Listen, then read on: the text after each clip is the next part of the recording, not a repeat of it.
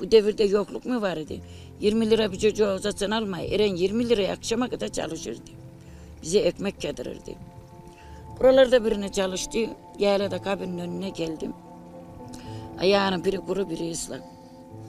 Niye dedim ayağının biri ıslak? Kaldı diye ayağını ki lastiğinin bir tanenin altı yıprak. Benimki de yıprak idi. Dedim ona Eren aldın mı yok muyum? Aldım dedi annem. Dedim oğlum. Lastik sımarla dedim. Aşağıda bildiğim biri varsa bana da sımarla kendine de sımarla. İçeri gelmeden sımarladı. Geldi o yayladaki evde oturdu dedi ki annem dedi. Ben bugün yemeği yapmasam dedi. Biz lastik giymeyecek miydik? Bunlar ne? Bunlar üzücü laflar. Hayaller vardı ama en çok ezan okuma havesli vardı yavrumda. Annem derdi ezanı ben okudum duydum. Yavrumun en en fazla hayali ezan okumaydı. Yaşadığımız evde namaz kılacak, seccadesini açıp da namaz kılacak yeri yoktu.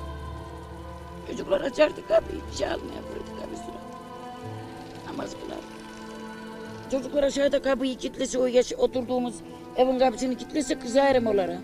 E kitleyelim onu diyorlar, kitlemeyin diyelim. Benim yavrum gelecek eren, yaralıydı, Allah'ını kaldırırdı kapıyı açamaz. Halen inanmıyor. Halen inanmak istemiyor. Bu acı bitmez. Allah'ım evlat acısı hiç kimseye vermez.